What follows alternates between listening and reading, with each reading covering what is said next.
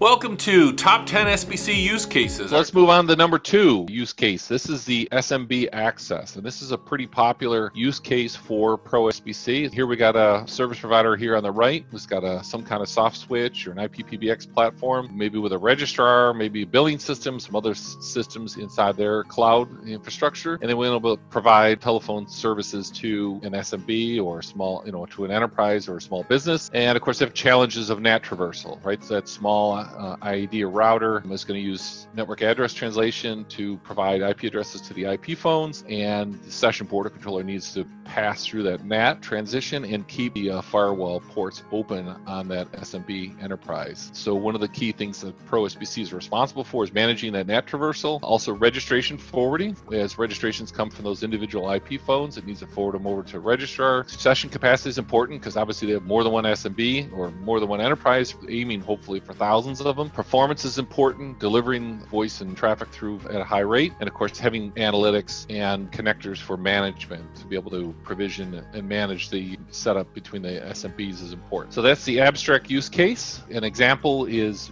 Vital PBX. They're actually one of our early case study customers. They built an Asterisk-based IP PBX platform that can be hosted, and they started with FreeSBC and have since uh, migrated over to ProSBC, providing an interface between that hosted IP PBX and the remote office workers. And the idea being is an enterprise or business would have a Vital PBX server in their data center, and they have remote offices, retail stores, or work at home, or whatever it might be. They have to traverse the NAT to get to the remotes. They fiddle around with using VPN, like a lot of open source and smaller systems. You know, in the beginning, one or two seems to work. Feedback, if I recall correctly, was you know VPN just doesn't scale. You know, they really needed a session border control to manage these remote offices and to do that NAT traversal and provide security. When they set up their first couple of pilot systems, they noted that one of the SIPVicious scanners found them almost immediately and they were really really concerned about you know having these SIP scanners probing their network you know they found the session border controller really really helpful in, in blocking those port scanners and provided them improved security it's an interesting story one of many there's lots of resources on our on the FreeSBC Pro SBC website